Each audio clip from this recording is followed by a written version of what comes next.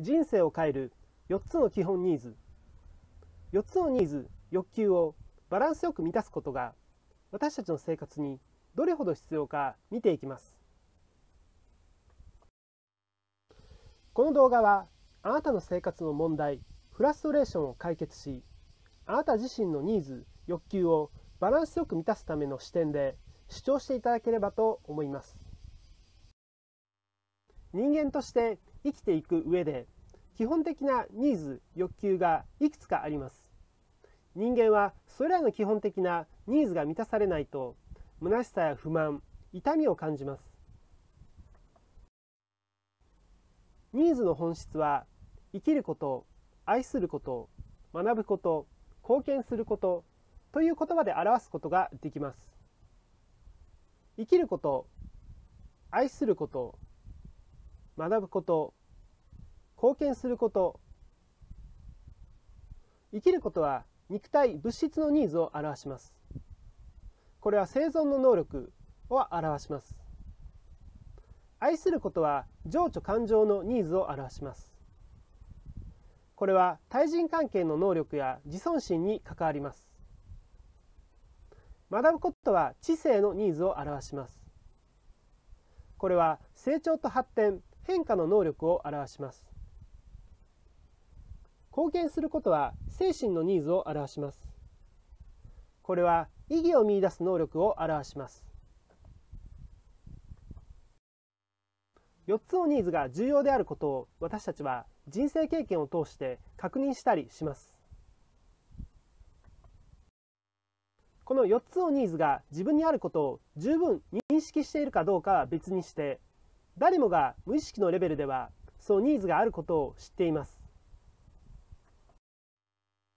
もしさまざまなニーズが満たされないと緊急中毒になって虚しさから逃れたり一時的な自己満足に陥ったり体調を崩したりします。生きるニーズとは肉体的ニーズです。衣食住お金健康物質の欲求です。愛するニーズとは他人と接し帰属し愛し愛されるための社会情緒的ニーズです。これは自分が自分自身をどう感じているかの関係も含まれます。学ぶニーズとは成長し発展したいという知的ニーズです。貢献するニーズとは意義を持ち目的を持ち社会や人のために役立ちたいという精神的ニーズです。この4つのニーズが生活の質と時間にどれほど影響を及ぼしているでしょうか。次の質問の答えを考えればそれはすぐにわかります。あなたは一日中エネルギーと身体能力を維持することができますか？それとも疲れていたり調子を崩したりしてしたくてもできないことがありますか？経済的に安定していますか？自分の物質的なニーズを満たすことができ将来のための蓄えがありますか？それとも借金返済のため長時間働いていますか？豊かな人間関係を築いていますか？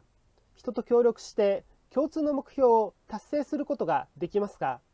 それとも疎外感を感じて大切な人と質の高い時間を過ごすことができないでいますか？あるいは誤解駆け引き悪口いじめ叱責暴力等が原因で他人や家族と一緒に働いたり生活するのが苦痛ですか？常に学び成長し新しい視野や技術を獲得していますか？変化していますか？それとも停滞していますか？十分な知識やスキルがないために昇進や発展ができないでいますか？生活の中で自分を奮い立たせる目的や方向性を持っていますか？自分にとって大切なことやしたいことがはっきりと分かっていますか？これら4つのニーズはそれぞれとても重要です。4つのニーズすべてがバランスよく満たされないと生活の質が低下します。借金を抱えていたり体調を崩していたり衣食住が不十分だったり疎外感を感じたり人間関係が最悪だったり精神的に停滞していたり目的意識もなかったりすればそれによって落ち着いた生活が送れなくなりますまた満たされないニーズが一つでもあるとそれがあなたの生活のエネルギーや注意力を奪うブラックホールになりますもし経済的に行き詰まったり離婚などによる精神的なダメージを受けたり体調が悪かったりすればその満たされないニーズが直ちに対処しなければならない差し迫った要素になります。そうなるとその他のニーズは無視されがちになり見えなくなってしまうのです。この4つのニーズを満たすためにそれぞれの4つの能力をバランスよく身につけることが必要なのです。私たちの人格は4つの要素のニーズと能力によって成り立っていると考えることができます。肉体情緒知性そして精神です。これを全人格型パラダイムと言います。演習1あなたにとってこの4つのニーズを満たすためそれぞれのニーズを満たす4つの能力をバランスよく身につける日々の活動はどのようなものがあるでしょうか。欠けているニーズを2つほど具体的に書き出す。演習2書き出した活動を日々の生活の中で行動し取り組み習慣化するためにはどのようなアイデア取り組み改善が必要だろうか。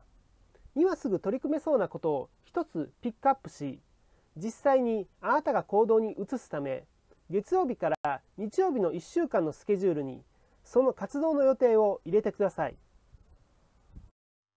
演習3書き出した4つの分野のうちの1つの活動を1週間以内に一度だけ行動してみてください。最後に分かったつもりは真に理解したことにはなりません。知識に従ってあなたの行動を変え習慣を変え実践しより良い結果を得るようになって初めて学んだと言えます。今回この動画講座はあなたが次の行動をとることで終了となります。学んだことを学ぶために教える原則動画参照に従って誰かに教え分かち合ってください。あなたにアドバイスを一つ行ってこの動画を終わりにしたいと思います。人はなぜやれば簡単にできることをやろうとしないのだろうか。それはやらないことも簡単だからだ。そしてそれがあなたの人生を少しずつ失敗へと導く怠慢の罠です。ジム・ローン。参考文献漫画でわかる7つの習慣7つの習慣最優先事項第8の習慣効果から偉大へ。参考資料2012年8月千葉幕張フランクリン・コビー・ジャパンジェームス・スキナー・プレゼンツ。7つの習慣特別ライブセミナーより。ご視聴ありがとうございました。